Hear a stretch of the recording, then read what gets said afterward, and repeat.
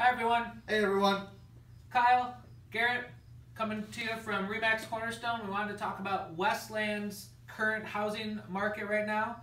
Uh, Kyle, It is up 11% from this- 11 percent. from this time last year. So if you were thinking about maybe selling last year, hoping things went up, well, you did the right thing because you're going to get a little bit more money this year.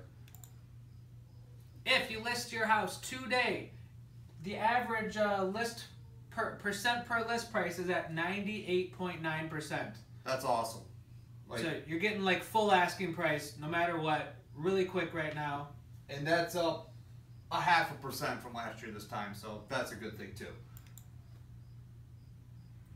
Homes for sale uh, overall from this time last year down 25%. That means there's not enough homes for sale right now for all the buyers that are out there. That means more buyers come to your home and more offers come in, the faster it sells and for And more money. and, and for more money. Yep. So we just wanted to tell you what the Westland housing market's doing right now. Um, it goes by subdivision, it goes by area, but this is pretty much all of Southeast Michigan right now. Give us a call today if you want top dollar for your home.